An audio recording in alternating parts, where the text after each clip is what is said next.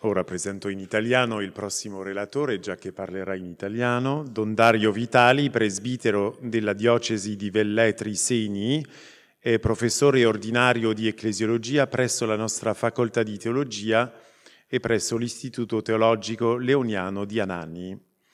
È anche stato nominato da Papa Francesco consultore presso il Dicastero per la dottrina della fede e presso il Dicastero per il clero e per quanto riguarda il futuro imminente, coordinatore degli esperti teologi alla prossima assemblea del Sinodo sulla sinodalità.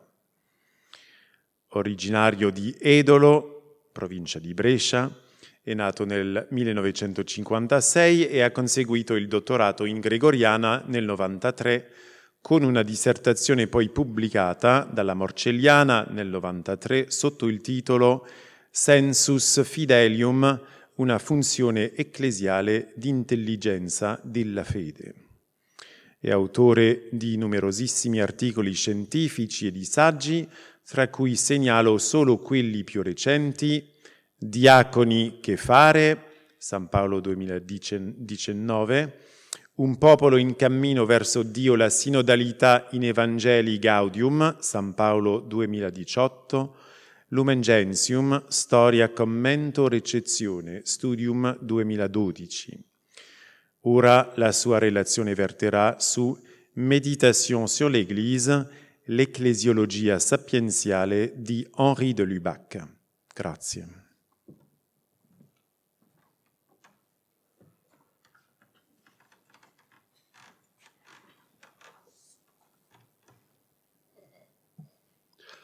Bonjour. Non c'è bisogno di salutare le autorità perché non ci sono più, meno male, non è così? E quindi, no, eh, quindi dovrebbe essere risolto con un bonjour a tutti e a tous. Non, non, no? E qualche frase in francese la metterò. Eh, perché non, eh, non, sono in grado di reggere un'intera, un'intera, relazione in francese solo parlando e non ho avuto eh, il tempo di eh, scrivere no, la, la, il testo no, in maniera scientifica e, per, per, poterlo leggere e quindi, e quindi parliamo in, in italiano. E la mia relazione si muoverà eh, quasi come un contrappunto rispetto alla relazione eh, di eh, Madame Le Maire, eh, alla quale dobbiamo fare oltretutto gli auguri. Eh, Marie Gabrielle eh, dovrebbe essere, come dire, oggi l'onomastico. Se ci sono dei eh, Michele, dei, dei, Gabriele e dei Raffaele, auguri. Quindi auguri alla signora. E vorrei partire da una considerazione, no, soprattutto di contesto. Sapete, in gregoriana eh, ci sono tre professori che hanno a che fare con la parola testo, contesto, pretesto. No. Eh, il professor Bonanni di solito no, così, lavora sul testo, il professor Nitrola sul pretesto no? No, e eh, il sottoscritto sul contesto. E vorrei leggere l'opera di Delubac in contesto, così quindi provare eh, non tanto eh, degli, degli, affondi sui contenuti, eh, quanto piuttosto eh, leggere la sua vicenda e quindi una eh, biografia ecclesiologica per certi aspetti. Lo vedete anche dallo schema no, che segue un po' eh, la sua vicenda e la sua opera. Eh, per iniziare direi che eh, possiamo inquadrare De Lubac nel secolo breve. Eh, secondo una definizione ormai diventata eh, quasi abituale, il XX secolo è descritto come il secolo breve, naturalmente lui nasce prima del 1914 e muore eh, dopo così, eh, il, la fine di questo secolo indicata nel crollo del muro di Berlino eh, però la sua biografia intellettuale può collocarsi entro queste due date. E eh, questo a maggior ragione diventa significativo se noi guardiamo lo sviluppo della vita ecclesiale, da una struttura rigida eh, che diciamo, si apre con eh, tutta la eh, situazione drammatica eh, del modernismo, con eh, l'apertura, poi la speranza no, che eh, il secolo XX sia il secolo della Chiesa e che eh, si rinnovi no, questo studio profondo, ricordiamo le parole di Romano Guardini, no, fino alla celebrazione del Concilio Vaticano II e a tutto quello che ne verrà dopo per la Chiesa, ma eh, dentro questi cambi così profondi e radicali eh, Lubac conosce l'esclusione conosce la proibizione all'insegnamento, conosce la proibizione alla pubblicazione di, eh, di temi teologici e quindi diventa una uh, situazione questa che ci permette di leggere una vita in contesto e il contesto alla luce di questa vita e delle scelte di eh, questa vita. Oltretutto, credo, per un pubblico francese no, sia necessario richiamare anche un contributo italiano eh, alla conoscenza di de Lubac, il eh, padre Benedetti, poi diventato vescovo, Giovanni Benedetti, vescovo di Foligno, il quale no, ha avuto un carteggio eh, molto eh, serrato con de Lubac intorno alla questione del surnaturel, così, eh, proprio negli anni immediati alla sospensione e quindi come dire, la luce no, che su questo no, può essere data no, aiuta anche a conoscere qualche cosa di più di uh, Henri de Lubac. Il carteggio è stato pubblicato e ehm, è stato anche ispiratore di una tesi discussa qui in Gregoriana sull'ecclesiologia di de Lubac che è stato possibile portare come elemento di eh, novità proprio in ragione ragione di questo eh, carteggio. E una volta date queste indicazioni, eh, vorrei anche porre una domanda. No? Perché eh, Henri de Lubac eh, ha fatto così tanta paura? Ha spaventato il mondo ecclesiastico di allora e ha spaventato il mondo eh, teologico. Certamente è una questione relativa al, ai contenuti, no? eh, se pensiamo no, che eh, tutti i suoi studi sul soprannaturale vanno a toccare il dogma della seconda scolastica, quello della natura pura, no, ci rendiamo immediatamente conto di quale fosse o quale potesse essere la reazione così violenta di un ambiente no, che si era costruito e aveva costruito il suo sistema a partire no, da eh, quella affermazione prima prima e indimostrata che uh, Lubac dimostrava come contestuale. Però credo che sia soprattutto, e qui incomincio no, la mia sottolineatura, il suo atteggiamento. L'atteggiamento di un uomo mite, e direi che la vita di De Lubac, d'altra parte, se è iniziato anche una causa di beatificazione, eh, qui eh, ci troviamo in una linea straordinaria, eh, la forza dei miti, la forza di un uomo che ha scelto di essere nella Chiesa, per la Chiesa, nonostante la Chiesa, o nonostante gli uomini di Chiesa o nonostante, se volete, no, gli uomini che guidavano in quel tempo la curia eh, romana.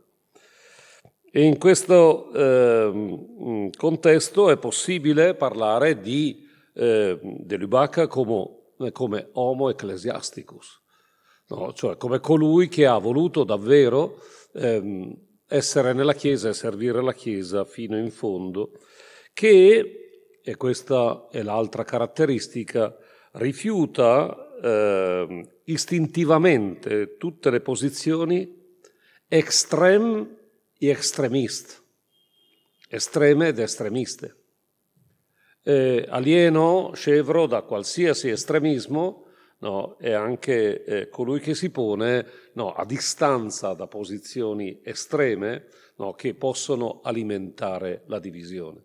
E questo si vede nell'atteggiamento, nelle scelte, nell'accettazione di quelle che sono le eh, decisioni dei superiori, ma si vede anche, eh, possiamo dire, nel modo di scrivere. Nel mio corso di ecclesiologia, quando apro e do la eh, bibliografia, dico sempre e chiedo che la, eh, sta nel, nel, testo che Meditation sur l'Église sia un'opera che deve essere letta e deve essere interiorizzata dagli studenti. Per comprendere esattamente quel superamento necessario, eh, quella frattura tra istituzione e mistero che eh, nel eh, preconcilio era evidente in favore dell'istituzione, che ora sembra evidente in ragione eh, del mistero e permette a molti di parlare del mistero eh, in maniera altissima e di fuggire no, le implicazioni istituzionali che questa visione misterica no, permetterebbe. Perdonate no, la piccola, eh, come dire, um, sottolineatura polemica nei confronti del presente. Ora, eh, se noi guardiamo i tornanti della vita di De Lubac e guardiamo la sua opera, Naturalmente non possiamo che partire per interpretarlo dal metodo, il ressourcement, il ritorno alle fonti. Ma forse non c'è questione più complessa che quella del ritorno alle fonti, perché eh, gli autori che hanno praticato il ritorno alle fonti hanno percorso, come degli alpinisti, dei eh, delle persone che vanno in montagna sentieri totalmente diversi. Provate a confrontare l'opera di Delubac e l'opera di Congar, niente di più diverso, eppure ambedue hanno praticato tutto questo. Uno sul versante storico, l'altro sul versante no, delle opere. Io avrei voluto portare qui due volumi della patrologia latina, il 164 e il 165 di Bruno di Segni, così mi corre anche l'obbligo di ricordarlo, eh, non solo perché abito a Segni, oltretutto sappiate abito in Palazzo Papale, no, il palazzo di eh, Innocenzo III, no, dei conti di, di Segni, ma eh, perché eh, Delubac, nella sua opera straordinaria, Les Exeges Médiévales, no, cita talmente tante volte Bruno di Segni che sembra quasi l'autore più citato sui quattro sensi della scrittura e quant'altro. Quindi è un metodo che ci fa vedere, De Lubac lo possiamo immaginare, no, che cambia volume uno dopo l'altro, continua a leggere, continua ad annotare, continua a fare le sue schede, continua a costruire un uh, metodo eh, semplicissimo. Io l'ho conosciuto questo metodo dal padre eh, Alseghi, no, quale diceva, così, fai le tue schede, no, costruisci una memoria quando ancora il computer non funzionava nelle modalità nostre no, e, e in questa maniera potrai giocare e costruire una sintesi straordinaria. E noi troviamo una sintesi del padre de Lubac che passa attraverso la lettura, la lettura, la lettura di opere una dietro l'altra e ho voluto chiamare metodo sapienziale esattamente perché è quello dei padri. Parlare di Delubac come uno dei moderni padri della Chiesa non è fuori luogo, anzi mi pare di essere uno che ripete una lezione ovvia, davvero è un uomo straordinario in questo senso. Quindi lui fa una lettura sapienziale dei testi che diventa una lettura sapienziale della, eh, della tradizione, cogliendo no, in questa lettura sapienziale qualcosa di talmente eh, originale eh, da diventare rivoluzionario. Perché? Eh, chi conosce le sintesi della teologia apologetica sa in quale camicia di forza no, fossero tenuti i uh, concetti, eh, le parole, eh, gli argomenti in maniera tale che tutto servisse per la difesa della Chiesa eh, nei confronti della eresia o della pestilenza protestante. Sciogliere tutto questo significa ritrovare le sorgenti, significa ritrovare una originalità, una forza, una eh, bellezza, anche uno splendore delle parole, no, che permette di rivedere una realtà meno eh, bloccata e soprattutto meno condizionata dal principio dell'uniformità. Quindi questo è un aspetto che possiamo e dobbiamo tenere presente, una originalità di questo senso, che eh, ci viene offerta poi in una ricchezza semplicissima, che è quella di ordinare per temi, eh, come dire, tutta questa ricchezza e eh, offrirla come una intelligenza spirituale, intus legere, una capacità di approfondire i temi, no, e per questo, eh, indicando agli studenti di leggere Meditation sur l'Église, raccomando di non tenere presenti solo gli argomenti, i temi, ma la modalità con cui no, eh, De Lubac ha costruito no, il suo racconto perché diventa più un racconto che una questione argomentativa. E troviamo però opere straordinariamente argomentative nel momento in cui assume tutto questo materiale. E pensate com'è rivoluzionario. Sottolineare gli aspetti sociali del dogma. Eh, di fronte a una eh, teologia che eh, rifiuta no, eh, di fatto eh, questa dimensione ehm, sociale e eh, pastorale e che eh, pratica eh, una riflessione soltanto estrema e astratta, è una scelta rivoluzionaria.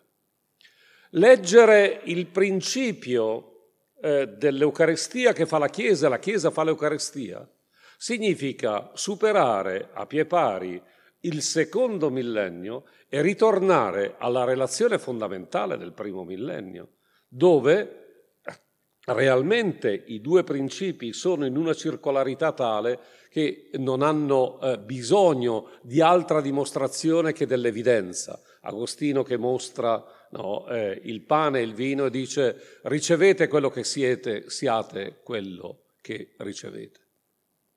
E De Lubac recupera tutto questo e lo recupera con una forza così straordinaria eh, che diventa evidenza e che scuote fino alle fondamenta un sistema che ormai tutto questo eh, lo ha perso perché, perché dimostra per tesi, perché individua soprattutto eh, i, uh, i nemici, gli avversari, perché combatte gli avversari. L'uomo mite non ha bisogno di combattere nessun avversario, ha bisogno semplicemente di recuperare, di riorganizzare e di rioffrire con tutta questa evidenza. E in questo contesto, no, vedete, tutto quello che viene detto sulla Chiesa no, diventa argomento di studio e diventa premessa straordinaria più di molti altri eh, testi e autori per quella che è la rivoluzione del Vaticano II. Non perché lui parli così tanto del popolo di Dio, non perché eh, ipotizzi la eh, rivoluzione copernicana che verrà realizzata dall'ecclesiologia del Vaticano II, ma perché mette i presupposti del recupero di quella ricchezza del ressourcement che permetterà al Vaticano II esattamente questa scelta.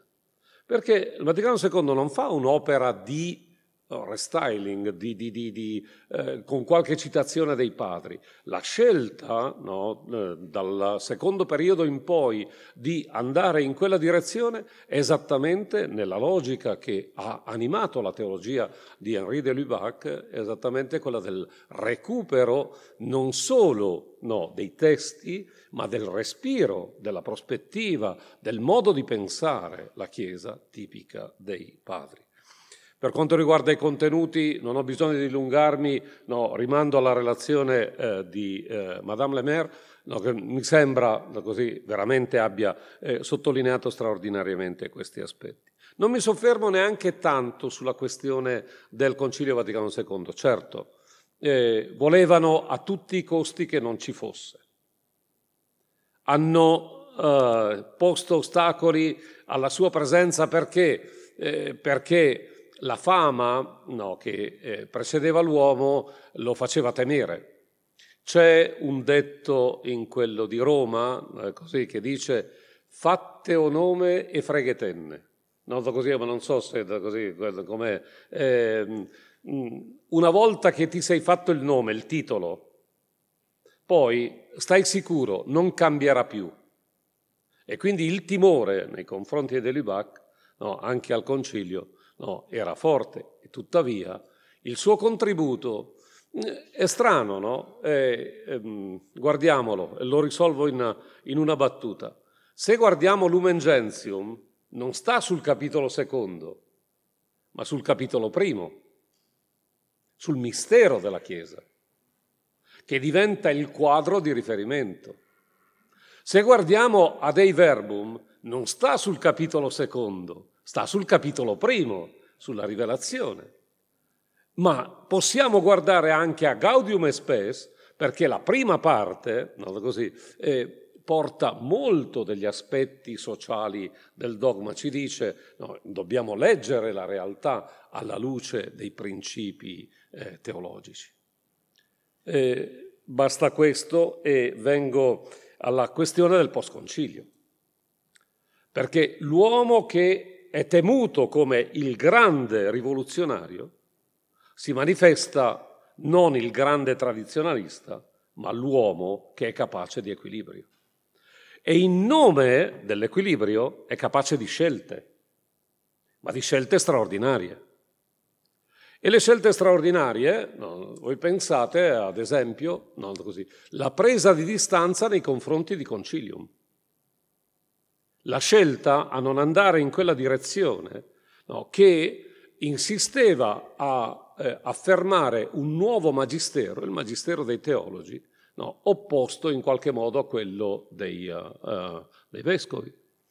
E mi ha fatto impressione, studiando Delibac, eh, una sua affermazione rispetto anche a una dimensione. Eh, lui dice, non dobbiamo dimenticare la dimensione profetica del Magistero.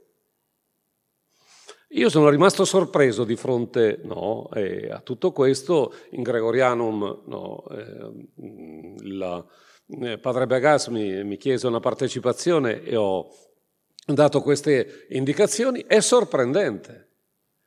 Come dire, eh, tutti i soggetti all'interno della Chiesa contribuiscono al cammino. E eh, la domanda di uscire al Magistero, di uscire da questo atteggiamento soltanto di custodia, di difesa, no? di una interpretazione eh, della, eh, del dato rivelato, del deposito, che rimandi soltanto al passato. Quindi una capacità, potremmo dire, no, legata a questo contesto che stiamo vivendo del Sinodo, del discernimento ecclesiale. È interessante in questo contesto, e vado a chiudere, no, eh, quello che lui scrive, no, gli interventi che fa dopo il concilio. Eh, la scrittura, l'écriture dans la tradition. Eh, mettere insieme questi aspetti e cogliere di conseguenza l'aspetto dinamico della eh, tradizione a partire dalla radice originaria della scrittura. Ed è un testo che fa chiaro e sono tutti scritti che vanno a chiarire e a riequilibrare eh, le interpretazioni del Vaticano II. Questo mi sembra un elemento no, straordinario. Eh, ancora, ateisme et sens de l'homme, un double requête de Gaudium Spes eh, interviene sulle questioni che ormai si stanno aprendo e stanno rischiando di eh, diventare talmente larghe da far perdere il senso dell'orientamento, quindi la direzione. Eh, la foi chrétienne, lo studio sul simbolo, cioè tornare agli elementi essenziali in maniera tale no, che la, eh, l'Église, dans la crise actuelle, no, eh, possa eh, essere un'opportunità e non un rischio.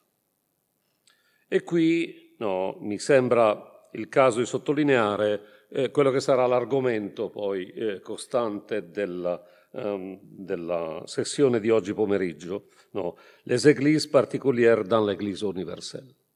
Non voglio entrare in tema perché, eh, come dire, non vado a, eh, a toccare nulla, no, però no, mi permetto di dire no, che il processo sinodale che si sta celebrando, la sedicesima assemblea generale ordinaria del Sinodo, si sta sviluppando tutta sulla base di questo principio. Tutta. Il principio ecclesiologico che regola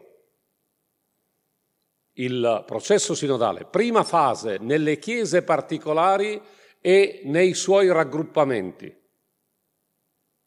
Seconda fase è a Roma intorno al Papa nella Chiesa universale. Terza fase, no, restituzione alle chiese particolari, no, è esattamente l'applicazione dinamica di questa prospettiva di questo elemento.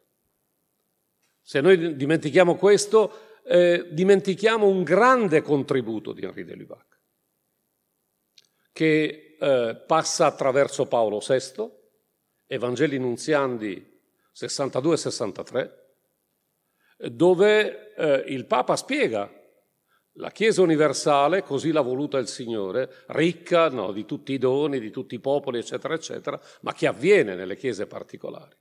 E le chiese particolari che si separassero dalla Chiesa universale sarebbero come dei tralci staccati dal tronco. No? una Chiesa universale che eh, prescindesse dalle chiese particolari sarebbe soltanto la famosa eh, espressione un ente di eh, ragione. Quindi tenere presente questa circolarità no, significa tornare all'equilibrio di Henri de Lubac alla posizione equilibrata di Henri de Lubac, alla posizione misurata di Henri de Lubac. Non mi stancherò mai di dire questo, di un equilibrio che non significa non prendere posizione, ma significa prendere posizione in maniera tale no, che gli estremismi e le posizioni estreme no, non possono essere affermate in termini tali da cancellare. Viene in mente un'espressione di Michel Desertot, mai senza l'altro.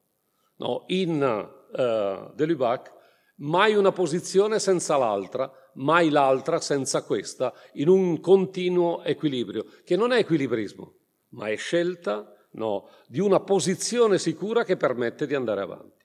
Se chiudiamo, no, possiamo immaginare, no, eh, è presente quella, mh, mm, quegli equilibristi che camminano sopra il, eh, il vuoto, così, avendo l'asta che abbassa naturalmente il baricentro, ma che permette di andare avanti. Se un equilibrista rimane fermo, cade. Se cammina, come dire, noi lo guardiamo no, e diciamo che bravo. Possiamo dire di Henri de Lubac che bravo, ha camminato in avanti sopra un abisso, hanno provato a buttarlo giù, la fedeltà alla tradizione, la fedeltà eh, alla, eh, scuola dei padri gli ha permesso di essere un testimone tale che ci racconta un'ecclesiologia che dobbiamo continuare a, ad approfondire. Grazie eh, Madame Lemaire per approfondire questo testo, oltretutto per accompagnare eh, il, eh, il, processo eh, dire, che eh, naturalmente per, ci permetterà di vedere che il miracolo no, così, del padre de Lubac lo invochiamo sia quello di una Chiesa sinodale che è capace di camminare insieme. Grazie.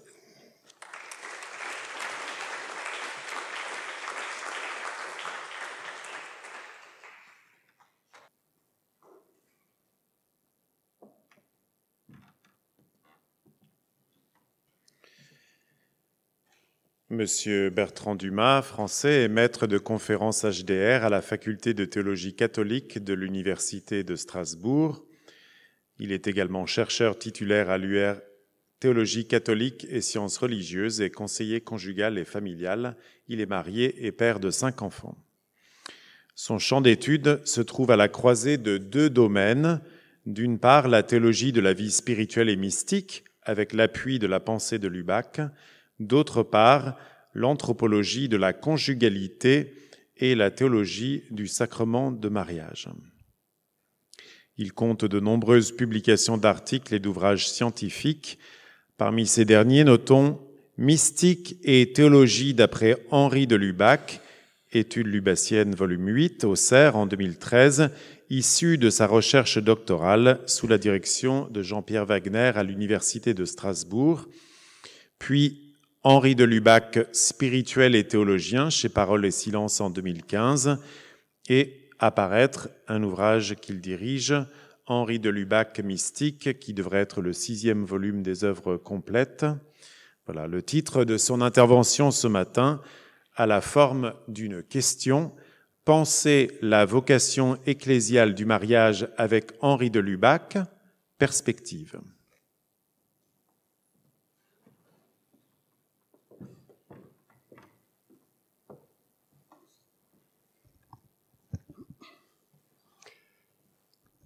Chers hôtes, euh, mesdames et messieurs, euh, je suis euh, heureux d'être avec vous pour ces deux jours et pour aborder cette question que j'ai formulée ainsi, penser la vocation ecclésiale du mariage avec Henri de Lubac, point d'interrogation, comme tu l'as noté Nicolas. Perspective. Alors, quelle est la question posée? Quand on étudie un auteur, surtout quelqu'un d'aussi prolifique que le père de Lubac, euh, il peut être parfois stimulant aussi de se mettre au clair, bien sûr, sur ce qu'il a dit, que de pointer tel ou tel sujet évité. C'est ce que je souhaite faire aujourd'hui. En fait, tout part d'un étonnement. On ne trouve pas chez le père de Lubac d'écrits sur le mariage ou sur la conjugalité. Euh, il a pourtant été actif dans un siècle qui a approfondi de manière spectaculaire le sens de la grandeur à la fois humaine et ecclésiale de cette vocation au mariage. Or, sauf erreur de ma part, hein, mais vous me reprendrez, si je me trompe, on ne trouve rien dans les grands ouvrages généraux et particulièrement ecclésiologiques du père de Lubac. Donc, euh, c'est là que je rejoins la thématique de ce colloque. Euh, je vais tenter un peu d'ecclésiologie par la bande, si vous voulez, puisque c'est pas du tout mon, mon, domaine premier, mais ma problématique sera la suivante. Attention, c'est un tiroir à, trois niveaux. Hein.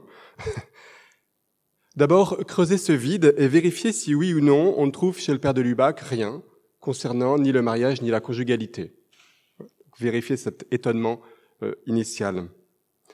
Deuxièmement, faire un pas de plus et voir si on pourrait trouver chez le père de Lubac des éléments qui touchent, enfin qui permettraient de penser le mariage et sa vocation ecclésiale.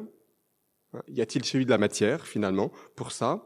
Et troisièmement, notamment, peut-on trouver chez lui de quoi penser le mariage dans la direction d'une remise en cause de la hiérarchisation des états de vie qui, en catholicisme, juxtapose, à mon avis, de manière problématique, l'appel universel à la sainteté, y compris dans le mariage, et en même temps la supériorité objective des états de vie marqués par le renoncement au mariage pour le royaume. Cette espèce de double affirmation catholique, à mon avis problématique, et c'est donc le troisième niveau de ma question. Peut-on, chez le père de Lubac, aller jusque-là si on réfléchit avec lui? À mon sens, il y a là un enjeu euh, ecclésiologique au sens où, euh, non pas que ce soit un sujet majeur de l'ecclésiologie, quoique, on est un certain nombre à être concernés, mais disons, je vois un peu ce lieu, si vous voulez, comme une sorte de crash test Hein, comme un lieu témoin de l'équilibre de nos représentations ecclésiologiques, à savoir le discours qu'on tient quand même sur cette portion non négligeable du peuple de, Dieu que sont les gens en couple, voire soyons fous, les gens mariés. D'accord? Alors, ma contribution, entre autres limites, sera essentiellement prospective. En fait, je, je lance là un ballon d'essai et je débute une recherche personnelle. Alors, comme tout bon étudiant, comme on le demande aux étudiants, j'ai commencé par un status questionniste que je ferai en deux moments, hein, chez Delubac et chez les théologiens contemporains. Y a-t-il des textes lubaciens traitant du mariage et de la conjugalité? Alors, je serai positif. il n'y a pas rien. Mais il y a deux textes édités et deux textes inédits, donc c'est pas non plus une moisson euh, absolument folle. Le premier texte édité, hein, j'ai mis les références, c'est la préface à Karol Wojtyła, Amour et responsabilité, en 65. Alors, de Lubac lui-même signale que les thématiques abordées par Wojtyła, amour, chasteté, mariage, procréation, famille, sont parmi, je cite, les plus importants des sujets à l'étude hmm, à cette époque-là. Et cependant, quand on lit euh, cette préface, on est assez surpris de voir le père de Lubac esquiver en fait la thématique du mariage et euh, parler des mérites de Wojtyła, de l'intérêt d'une étude respectueuse de la tradition et de ce que c'est qu'un véritable aggiornamento conciliaire. Donc, il ne traite pas directement le sujet qu'on aurait pu attendre. Premier constat. Deuxième lieu, deuxième texte édité, c'est L'Éternel féminin. Euh, j'ai mis 68, j'ai mis 67 en fait normalement. Euh, donc le, le, commentaire de ce poème de Théard de Chardin, qui est là un lieu beaucoup plus consistant. Parce qu'en fait, euh, justement, le père de Lubac se trouve à commenter le texte de Théard qui souhaite rendre compte à la fois de l'excellence de la virginité, mais aussi de la richesse de l'instinct sexuel et amoureux, hein, dans cette grande tentative d'une mystique théardienne pour unir toutes choses. Donc on est vraiment dans notre sujet, hein, avec ce commentaire-là. Même si, comme toujours avec le père de Lubac, il n'est pas toujours facile de savoir où est sa pensée, hein, puisqu'il est largement effacé derrière le père Théard de Chardin, qu'il cite, qu'il met euh, en scène. Euh, ceci étant, j'ai repéré quelques passages où il me semble qu'on distingue particulièrement la, la patte lubassienne, et notamment page 9900, euh, après avoir recueilli, sans la critiquer, l'expression de Teilhard pour qui l'Église aurait engagé son autorité en affirmant la supériorité de la virginité. Hein, donc, il reprend cette affirmation de Teilhard sans commenter. Euh, juste après, il la complète. Parce que là où finalement Teilhard place, euh, avec ces mots, mais finalement de manière relativement classique, le mariage et la virginité comme deux étapes d'évolution, hein, donc la virginité venant couronner, récapituler et purifier le mouvement d'universelle attraction à l'œuvre dans le mariage. C'est en ça que Teilhard est original, en voyant déjà dans le mariage ce mouvement d'universelle attraction qui se joue. Bref, après avoir euh, mis ça en avant, le père de Lubac se contente de noter sobrement que Teilhard aurait pu aussi bien reprendre la phrase de saint Augustin Il n'y a qu'un amour. Hein, donc Teilhard, une construction là, ordonnée en deux étapes, un même mouvement mais deux étapes, la virginité venant purifier, couronner, et de Lubac disant il aurait pu tout aussi bien dire, comme saint Augustin, il n'y a qu'un amour. Alors certes, on reconnaît ici typiquement euh, la mystique lubassienne, hein, on unit avant de distinguer très clairement. Ceci étant dit, cette correction peut s'entendre de deux manières, ou bien en conservant la dimension hiérarchique des états de vie, ou bien peut-être, hypothèse qui n'engage que moi, éventuellement, en l'atténuant au profit de l'unité du mouvement qui traverse le mariage et la virginité. On ne peut pas trancher. Alors, après ces deux textes édités, deux textes inédits sur lesquels je passerai un peu plus rapidement, les problèmes de l'amour hein, qu'on trouve dans les archives lubassiennes, où là le père de Lubac affine ses remarques adressées à Anders Nygren, hein, le fameux livre Eros et Agapé. Et euh, le père de Lubac développe une réflexion où il met en lumière une même dynamique à l'œuvre dans la mystique comme dans l'amour humain. Hein, je cite Ce qui doit surtout marquer notre amour de Dieu, c'est le don que nous lui faisons de nous-mêmes directement ou indirectement par l'intermédiaire d'un prochain auquel nous nous donnons et que nous cherchons à aimer pour lui-même et non pas pour nous. On reconnaît là encore cette unité première, donc premier texte. Deuxième texte très court, un discours sur le mariage, un publié dans le bulletin de Lubac en 2020, un texte qui date de 2028, donc du, du jeune de Lubac qui prêche pour le, le mariage d'un de ses oncles, texte qui, à côté de choses relativement convenues et d'élévation euh, belle contient cette phrase audacieuse, peut-être, je cite, Il y a bien des manières d'imiter Dieu, entre lesquelles il serait vain de chercher quelle est la plus parfaite, puisque le choix n'en est pas laissé à notre caprice, et puisque chacune peut conduire à la perfection. Donc, Arzo, euh, la récolte n'est pas nulle, elle est mince. Euh, peut-on aller plus loin? Eh bien, en préparant cette conférence, j'ai découvert que euh, certains euh, théologiens euh, s'appuient sur le père de Lubac, alors sporadiquement, pour penser la conjugalité et le mariage. Hein, donc c'est par là que je vais aller maintenant et continue en quelque sorte mon status questionnis qui sera déjà le début d'une réflexion personnelle prospective, à savoir hein, de quelques travaux théologiques récents qui s'appuient sur le père de Lubac pour penser le mariage. Alors là, on arrive dans l'original, voire, pardonnez-moi, euh, dans le bizarre quelquefois. Alors, en gros, j'ai trouvé une quinzaine de travaux, mais qui s'appuient à des degrés très divers hein, sur le père de Lubac. Il y en a deux qui sont explicitement appuyés sur le père de Lubac. On a Crawford et Haley. Euh, alors, euh, oui, ce sera le petit moment de pause, c'est quand je prononce de l'anglais. Crawford, c'est Marriage and Sequela Christi, a study of marriage as a state of perfection in the light of Henry de Lubac's theology of nature and grace. Voilà, c'était la pause avec mon accent français magnifique. Ah, donc l'étude du mariage comme un état de perfection à la lumière de la théologie de la nature et de la grâce du père de Lubac. Donc premier ouvrage qui vraiment s'appuie sur le père de Lubac et un deuxième c'est Nicolas Haley Jr. Euh, dans le, TNT Clark Companion to Henri de Lubac qui en fait euh, s'appuie lui aussi sur la dynamique de la nature et de la grâce chez le père de Lubac pour penser l'inséparabilité du contrat et du sacrement de mariage. Hein, donc on a là un rapprochement surprenant, mais qui donne à penser. Qui donne à penser. Une fois qu'on a dit ça, on est presque au bout du chemin de l'état de la question, parce qu'on trouve encore une douzaine de travaux, universitaires ou pas, euh, scientifiques ou pas, euh, sur support papier ou sur blog, qui, à des degrés très différents, s'appuie ou bien assez franchement sur de Lubac comme un auteur parmi d'autres, ou bien qui le cite juste en passant, euh, d'ailleurs, euh, comme une caution. Alors, parmi ceux qui le citent, euh, il m'a semblé, donc j'ai mis quelques noms, hein, de la veine sur le dynamisme eschatologique du mariage, Volonté, Gourlet, Russell, le plus ancien. je vous fais grâce du panorama hein, qui part un peu dans différentes directions, mais ce que j'ai trouvé intéressant, c'est les sources de ces auteurs ou de ces blogs euh, qui réfléchissent le mariage avec de Lubac ou principalement ou en passant. J'en ai trouvé trois euh, assez inégalement répartis. En fait, euh,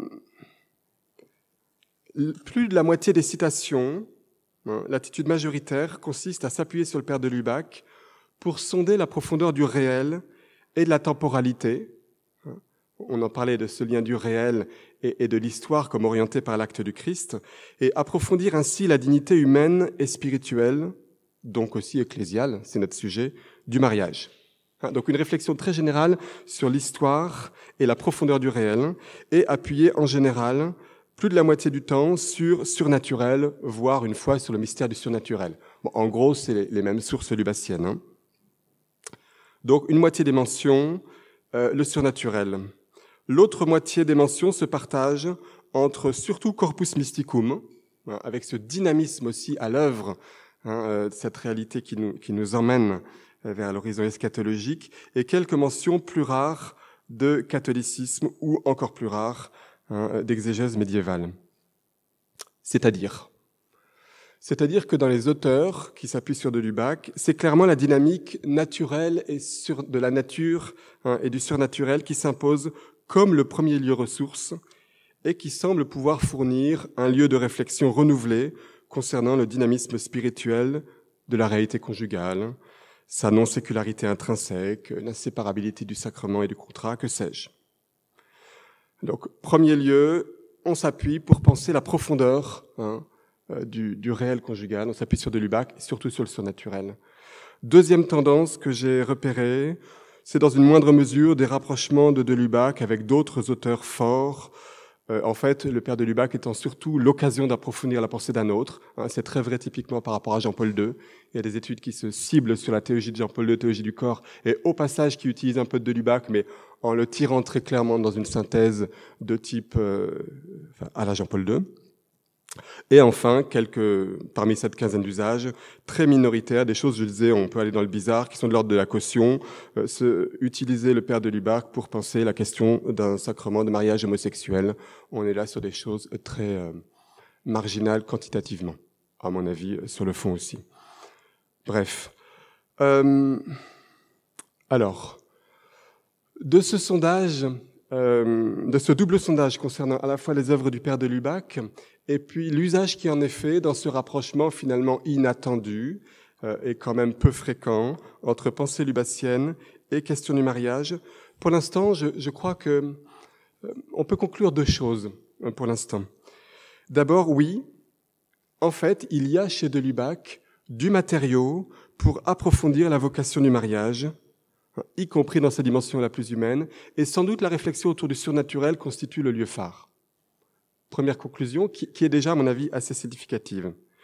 Deuxième conclusion, hein, pour autant, les théologiens euh, n'abordent à peu près pas la problématique qui m'intéressait plus spécialement, à savoir la, question de la hiérarchisation des états de vie. Hein, c'est pas dans l'agenda des rares personnes qui rapprochent de Lubac et la question du mariage.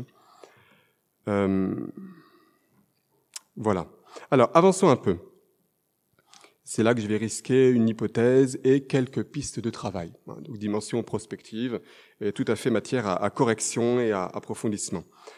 Alors, pour revenir à mon étonnement initial, disant euh, comment il a abordé quand même la plupart des grands sujets de son époque, mais pas la question du mariage, euh, mon hypothèse, mais je la donne ici en toute simplicité parce que c'est vraiment une hypothèse qui vaut ce qu'elle vaut. Hein. Euh, je me demande je me demande si l'imprégnation patristique et traditionnelle du père de Lubac, hein, qui d'une part la doté d'une haute estime pour le mariage, hein, euh, n'a pas en même temps comme, été comme un frein pour qu'il se plonge à fond, pour qu'il discerne jusqu'au bout ce que l'appel à la sainteté jusque dans le mariage peut impliquer. Hein, toute cette imprégnation patristique, je sais, euh, en fait, quand même, on sait la position ambivalente des pères concernant euh, la dignité conjugale. Hein, ambivalence qu'un auteur comme Eric Fuchs, dans son, son superbe livre, euh, évidemment dont j'ai oublié le titre, c'est toujours comme ça euh, en public, il y est question de, de tendresse, bref, le, le, désir, bon, ça me reviendra plus tard, le désir et la tendresse, merci Brigitte. Euh, qu'Eric Fuchs, attitude patristique, Eric Fuchs résumait ainsi, hein, concernant les pères à propos du mariage, oui, mais oui, grandeur, défense du mariage, hein, on sait bien aussi bien contre les excès que contre les sectes ancratistes, euh, mais en même temps primauté de la virginité, euh, accointance possible entre mariage et péché, bref. Donc, je pense que cette imprégnation patristique a joué un rôle, et en même temps, euh, je pense aussi que l'érudition et aussi, aussi le sens ecclésial et le sens de la foi particulièrement affiné du père de Lubac l'ont dissuadé d'écrire en cette matière au risque de reconduire des jugements qu'il aurait plutôt fallu recontextualiser et approfondir. Vous voyez ce que je veux dire? Je pense que son sens de la foi, d'une certaine manière, l'a empêché de simplement reproduire les considérations patristiques en ce domaine du mariage. Hein? Et je pense notamment à cette question de la hiérarchisation des états de vie qui, quoi qu'on le veuille, finit toujours par affirmer la grandeur du mariage, mais sa position subordonnée dans les différentes vocations euh, catholiques. Euh, pourquoi j'ose cette hypothèse? Alors peut-être que je me trompe, hein, c'est le propre d'une hypothèse, mais j'ai été frappé en relisant, en lisant Balthazar, l'état de vie chrétien, de voir que Balthazar est quelqu'un de tout aussi imprégné des pères de l'Église, très clairement, mais qui n'a pas du tout cette retenue, hein, et qu'au travers de sa réflexion, ces fameux six schémas, quatre voire cinq fois sur six, euh, le mariage, cette éminente vocation, se retrouve en tout cas à chaque fois en dessous d'à peu près tous les points de vue qui comptent. Et je me dis, ça, c'est quelqu'un qui n'a pas eu cette espèce de mesure. Et ça m'a fait voir, au contraire, par contraste, l'extrême et intelligente retenue du père de Lubac sur ce sujet-là, euh, d'où cette hypothèse, hein, cette espèce d'imprégnation patristique qui constitue là peut-être comme, comme une, sorte de, une sorte de frein, mais contrebalancé par ce sens de la foi extraordinaire du père de Lubac. Hypothèse. Donc finalement, une limite, mais aussi une discrétion avisée concernant la question du mariage. Au fond, au fond, c'est pas le plus important. Pourquoi il n'a pas écrit euh, Mais je voudrais rajouter un point suite à mon sondage de la littérature théologique contemporaine.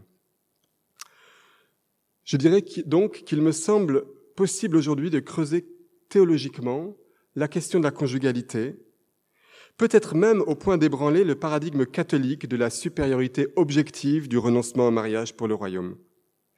Et qu'il est possible de le faire sans rupture de tradition. Sinon, on fait plus de la théologie. Hein. Qu'il est possible d'ébranler ce paradigme sans rupture de tradition. Alors, il ne s'agit pas de faire parler les silences du père de Lubac, ce serait évidemment trop, trop facile. mais de prendre acte du fait que certaines voies théologiques générales qu'il a désensablées constituent en fait des vecteurs puissants d'approfondissement de la réalité chrétienne en général, et donc aussi conjugale en particulier, hein, en vertu de cette manière dont le sacrement du mariage vient déployer la grâce baptismale dans une vie conjugale. Donc des voies générales qu'il a désensablées peuvent servir en fait à réfléchir à la vocation chrétienne en général, donc conjugale aussi.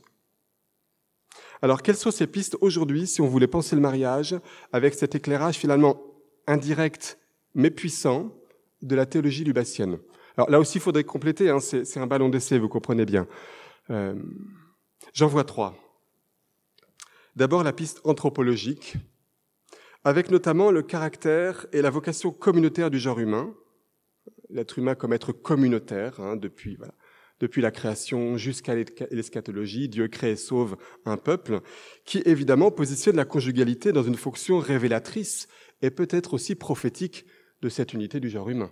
Hein, on voit bien là qu'il y a une belle piste pour creuser le charisme propre des époux dans l'Église, hein, en accord avec ce dynamisme singulier de la personne humaine en général. Et on se rappellera ici les analyses pénétrantes de Delubac sur le mystère de la personne et la révélation comme révélation de l'unité du genre humain. première piste. Deuxième piste, c'est la piste proprement ecclésiologique. Là, on pourrait partir dans plusieurs directions, donc c'est pas vraiment ma, ma compétence première, mais euh, bien sûr, on pourrait euh, déployer là aussi la thématique de l'Église comme lieu de l'unité retrouvée, typiquement Corpus Mysticum.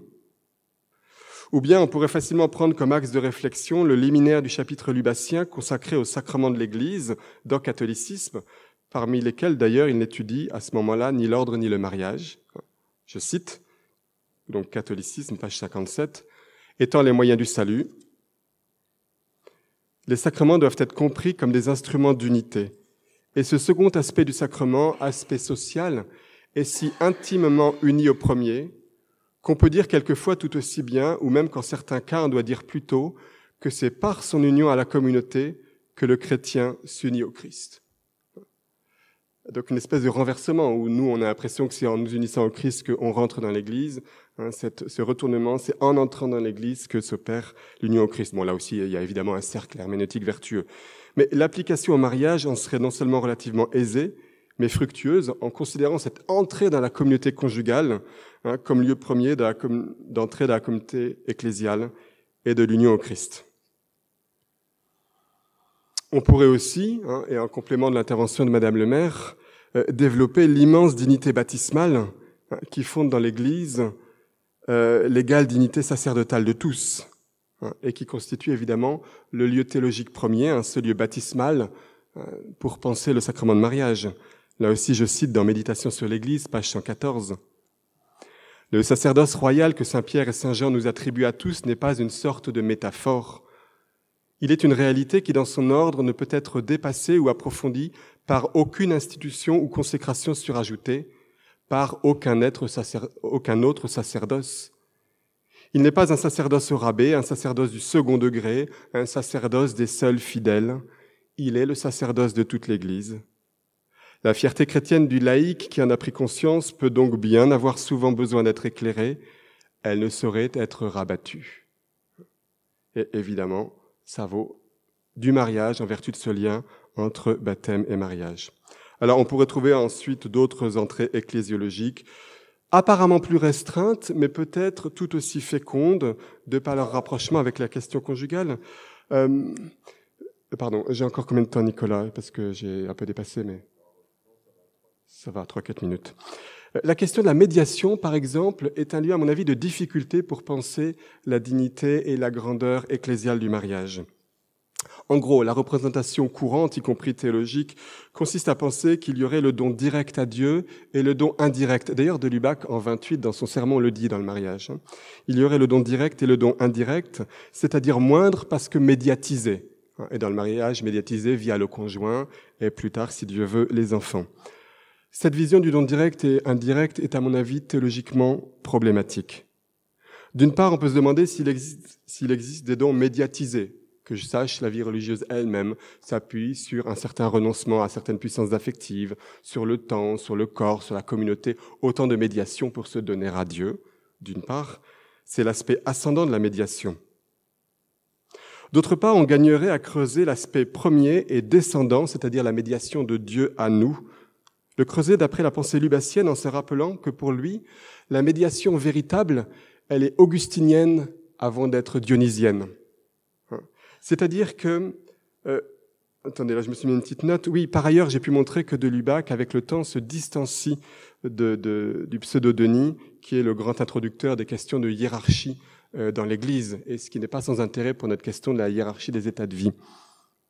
C'est-à-dire que dans l'Église, dans une mentalité de médiation augustinienne, il n'existe pas de fonction médiatrice qui serait une forme d'interposition entre Dieu et le fidèle, au sens où le médiateur serait une sorte d'intermédiaire par le truchement duquel la grâce se déverserait un peu comme d'une vasque pleine sur les inférieurs qui par lui recueilleraient la grâce de Dieu. Ça, ce serait plutôt à discuter. Il y a des gens bien plus compétents que moi, mais on n'est pas dans la médiation, à mon avis, de type augustinienne qui est au cœur de la pensée lubassienne. Donc, on pourrait penser à frais nouveau cette question du positionnement réciproque des états de vie et la supposée infériorité de l'état conjugal de par son caractère média. On passe par quelqu'un, donc, dont moins direct, dont moins complet. Non. Creusons la question des médiations.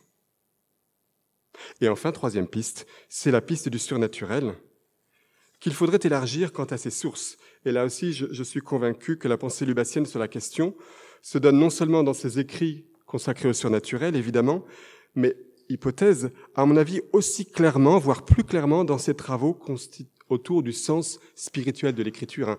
Il y a vraiment, c'est vraiment une pensée à double foyer, le père de Lubac, hein, et notamment euh, la question spirituelle de l'écriture.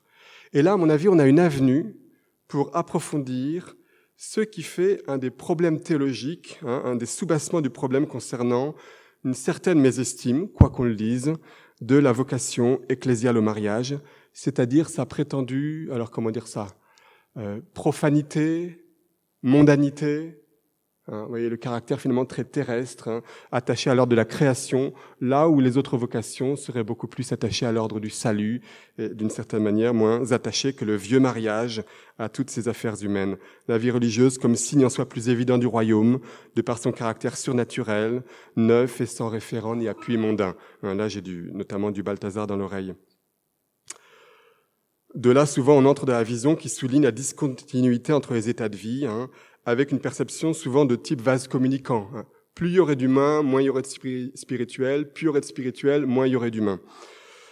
Euh, du coup, une compréhension très forte de, la mondanité du mariage, de l'adhérence du sacrement de mariage à ce qui est seulement humain, vient souvent parasiter la capacité à le penser comme un lieu pleinement spirituel.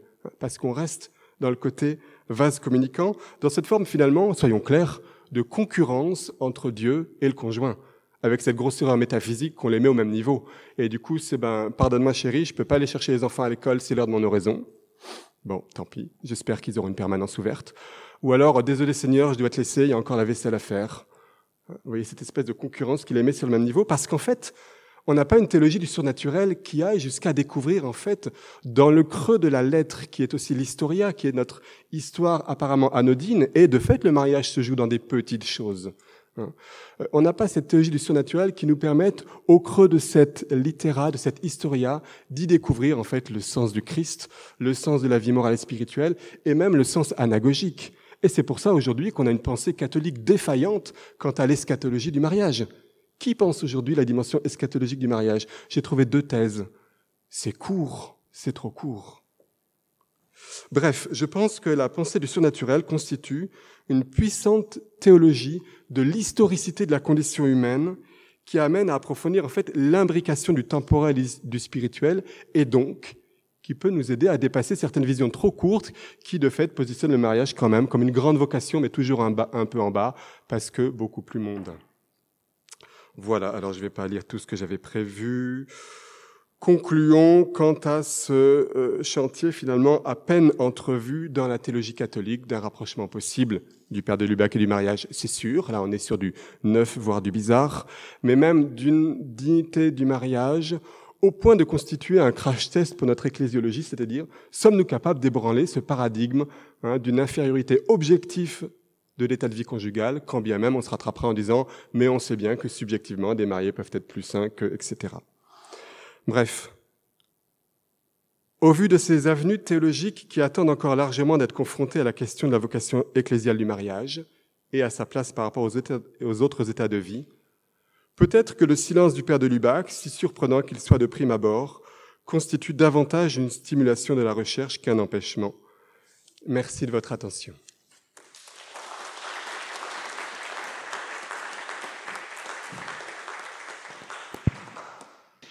Voilà, donc euh, nous avons une vingtaine de minutes pour un débat éventuel entre les intervenants s'ils le souhaitent, et puis après des questions, s'il restait des questions aussi euh, euh, pour Madame le maire, voilà, qui n'ont pas pu être posées tout à l'heure, on peut aussi les poser à cette occasion, donc à nos trois relateurs, trois intervenants qui sont là encore. Donc un très grand merci à eux.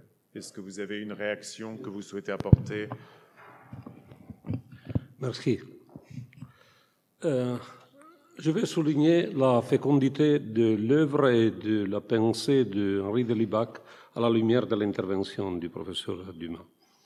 Si nous faisons, euh, faisons une lecture euh, diachronique de l'œuvre de, de Lubac, il y a une troisième étape qui se peut expliquer avec euh, l'intervention du professeur euh, euh, Dumas. pourquoi? La première étape de Lubac fait une composition des œuvres à partir de ses lectures. La, lecture des œuvres des de pères de l'Église plus euh, il va euh, euh, progresser en la lecture et plus il va composer, comment se dit le quadre Le cadre. Ah, le cadre, le cadre, merci. Le cadre. plus il progresse avec la connaissance des éléments et des aspects, et plus euh, il va libérer euh, tous les éléments et tous les aspects de la euh, imbragatura, comme est la, la condition, la condition de, de, de, la, de la synthèse de la scolastique. Et après le Conseil, le, le Vatican II, les œuvres sont des euh, risposta, euh, de, la possibilité de euh, résoudre questions et à la lumière d'une synthèse formulée à la lumière de ces lectures. La troisième étape, la possibilité aujourd'hui d'étudier Henri de Lubac pour euh, profondiser thèmes et questions selon ces, ces œuvres, ces contenus, mais euh, surtout sur euh, sa méthode. La méthode euh, qu'a appliquée le professeur Dumas pour expliquer une question qui, dans les œuvres de, de, de, un, lien, un lieu bien petit c'est mesuré avec une euh, euh, magister euh, et, une possibilité de cheminer sur les épaules de, de géant, d'un géant. Merci, Henri de Lubac est un géant. Très bien, alors on peut passer. Pardonnez, pardonnez euh, mon français. Hein. Au contraire, nous te remercions. Est-ce que vous souhaitez poser, donc, sœur Alexandra?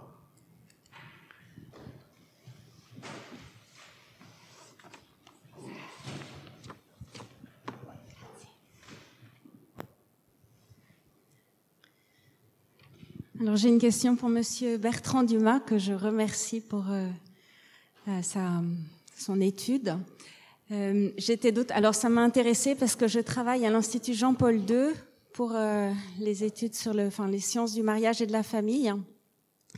Et quand on parle en général, quand on veut expliquer que le sacrement de mariage n'est pas extrinsèque au mariage naturel, on invoque souvent Lubac. Donc c'est, bon, alors c'est dans la ligne de, de, Crawford, etc., de Nicolas Healy que vous avez aussi évoqué. Mais à propos des pistes que vous avez ouvertes, je me demandais si on pouvait pas euh, justement se servir d'Henri de Lubac pour penser le sacrement de mariage et la famille comme église domestique.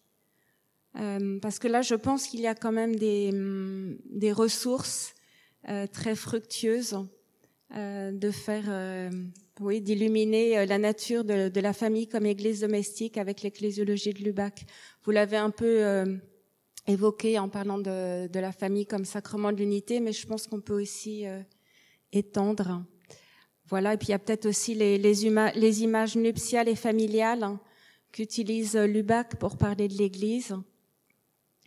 Est-ce que euh, quand il parle de l'Église mère, est-ce que c'est pas alors là c'est c'est pas tout à fait le sacrement de mariage, on est plus sur la famille. Hein. mais je me suis demandé si euh, ce qu'il disait ne venait pas aussi tout simplement d'une expérience qu'il avait faite de la maternité quand il dit qu'il a tout reçu euh, sur les genoux de de, l'Église sa mère. On, ne peut pas s'empêcher de se dire qu'il a dû avoir une belle expérience d'un climat familial. Alors je ne connais pas suffisamment la vie de, de Lubac mais voilà, enfin, en vous écoutant, c'était d'autres pistes qui me, qui me venaient euh, à l'esprit. Oui, euh, merci, sœur Alexandra. Euh, c'est très juste ce que vous dites. Hein. C'est pour ça que je disais que moi c'était juste un ballon d'essai. J'ai pas fait un tour absolument systématique. Et de fait, euh, la question de l'Église domestique est assurément une entrée euh, assez remarquable pour approfondir le positionnement ecclésial du mariage et de la famille. Ceci étant, ce que je constate, c'est que peut coexister un certain usage de notions fortes, comme l'église domestique ou la dignité baptismale, avec ce discours qui continue de maintenir, ce double discours en fait, qui continue néanmoins d'amener des éléments de, de hiérarchisation objective et, c'est ce point-là qui m'intéressait de souligner. Donc, c'est vrai que de ce point de vue-là, la question de l'Église domestique peut fonctionner de deux côtés tout à fait différents. Hein, ou bien déployer un mariage, mais qui reste subordonné à d'autres formes d'état de vie qui, eux, seront plus porteurs, y compris plus signifiants du point de vue de la nuptialité. On trouve ça, par exemple, chez Jean-Paul II.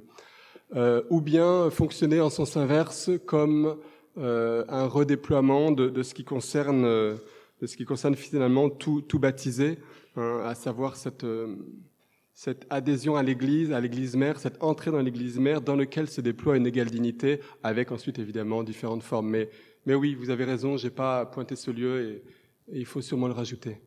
Merci. Sì. Non voglio integrare nulla, ma soltanto dare la conoscenza eh, di una tesi eh, discussa in gregoriana, la Chiesa Madre al Concilio Vaticano II Venti anni fa purtroppo Giampiero Ziviani già ci ha lasciato, è morto, è un professore di ecclesiologia promettente, però la sua tesi merita davvero. La Chiesa Madre al Concilio Vaticano II e le citazioni di De Lubac non sono J'ai regardé en ligne pendant que Bertrand Dumas parlait si euh, Henri de Lubac avait des frères et sœurs. Donc il en a eu deux de ce que j'ai vu de l'arbre généalogique, dont au moins un a eu pas mal d'enfants. Donc euh, voilà. il, il, semble qu'il y ait une expérience, mais, mais, les biographes en sauront plus que moi. Euh, Madame le maire, vous souhaitiez dire quelque chose? Oui, Pas du tout en tant que biographe. Euh, je, voulais remercier euh, euh, les, deux, intervenants et par rapport à, l'exposé de, de, Bertrand et sa méthode heuristique en particulier. J'ai trouvé ça très stimulant. Et ce n'est pas vraiment une question, je voudrais juste renchérir sur un point que vous avez soulevé, confirmé, corroboré. C'est l'importance de la théologie du surnaturel chez le père de Lubac, qui justement permet de corriger cette idée de vase communicant entre le spirituel et, le, naturel, parce que donc, cette perspective d'unir pour distinguer précisément vise à nous sortir de toutes les confusions perpétuelles entre nature et grâce. Et, typiquement, cette euh, idée de vase communicant euh, repose en fait sur une confusion où l'on croit que le, surnaturel peut s'additionner, peut se, euh, se, se, comptabiliser par rapport euh, au naturel. Et je me demande même si l'attitude avisée, la discrétion avisée que vous avez très bien relevée euh, du père de Lubac sur cette question de la hiérarchie ou pas entre les états de vie pourrait avoir comme fondement justement une vision purifiée du rapport entre nature et grâce, où il n'y a d'ailleurs plus euh, lieu de hiérarchiser au nom d'un rapport plus ou moins euh, grand au naturel euh, dans un état de vie plutôt que dans un autre. Je ne sais pas si, j'ai réussi à formuler ma, ma remarque. Voilà.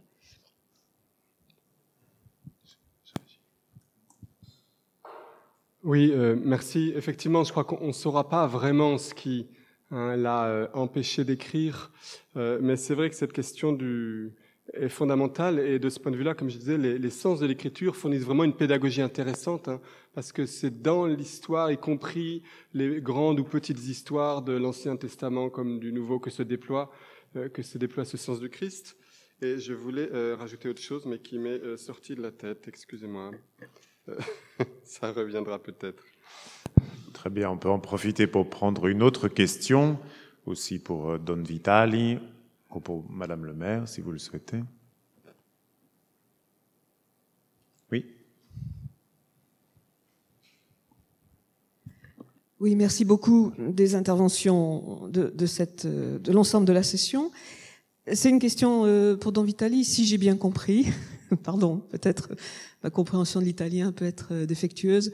Mais vous, vous, voyez dans la méthode, euh, le geste général d'Henri de Lubac, un souci, une préoccupation d'abord sur le particulier qui ouvre à l'universel et qui revient au particulier. Je me demande dans l'œuvre de Lubac, euh, j'ai du mal, du moins, à voir à quel moment, dans quelles œuvres, à quelle époque, euh, ce, cette troisième phase, euh, qui, qui, est, qui, est, un geste synodal par excellence, me semble-t-il, cette troisième phase est réellement réalisée, si je puis me permettre, dans l'œuvre de De Lubac c'est une, c'est une question euh, sur l'œuvre, en fait, hein, sur, sur l'œuvre même d'Henri Lubac. Merci d'avance.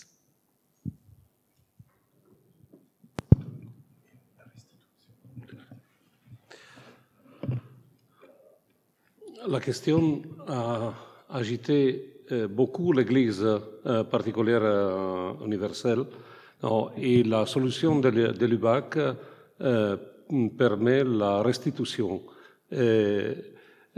parce que eh, elle mm,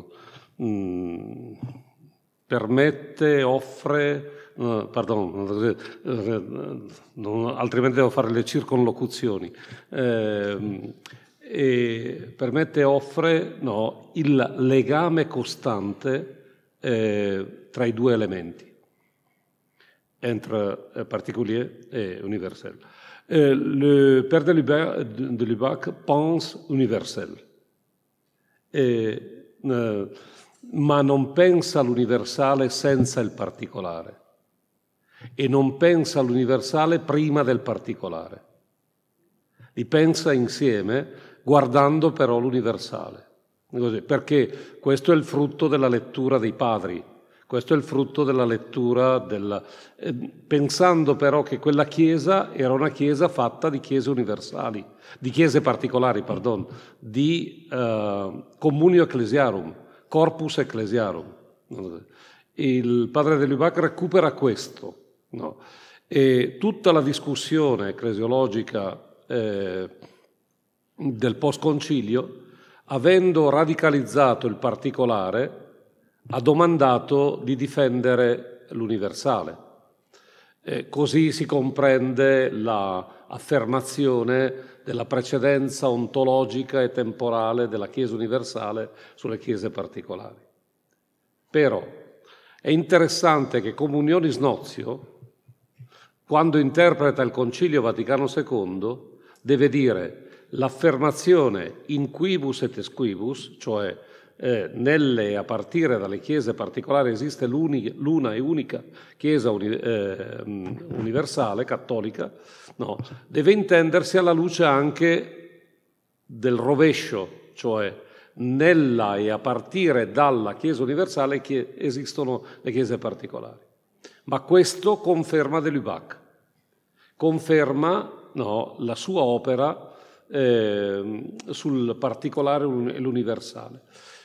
Tenendo unito no, universale e particolare in una circolarità continua, la restituzione è costante nel eh, metodo sinodale in atto, dalle chiese consultazione del popolo di Dio nelle chiese particolari, discernimento delle conferenze episcopali, discernimento delle eh, assemblee continentali e tutto nelle chiese particolari.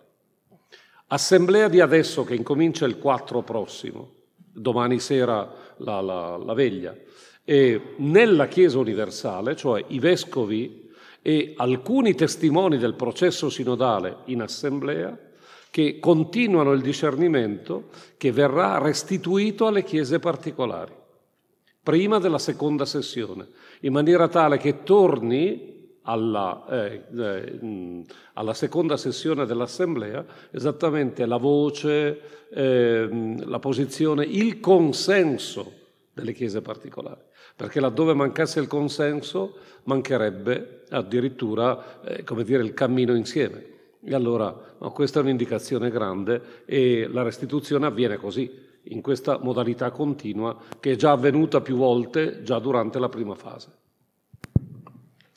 J'en profite pour dire, il me semble que cet aspect de, de contexte, en fait, de, des occasions euh, auxquelles euh, le père de Lubac répond, en fait, constitue aussi beaucoup de ses écrits. En fait, à chaque fois, il répond à des demandes de donner des retraites.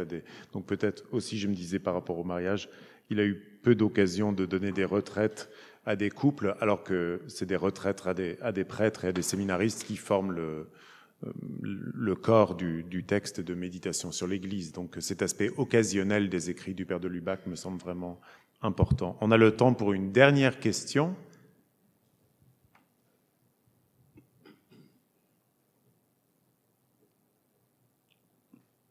S'il n'y en a pas, alors bon déjeuner à tous. Nous nous retrouvons ici à 14h30 précise pour la deuxième session. Due mezze, cioè due mezza, scusate, precise qui per la seconda sessione.